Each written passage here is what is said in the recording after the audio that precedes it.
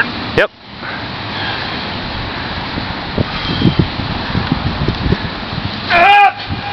Woo! There we go.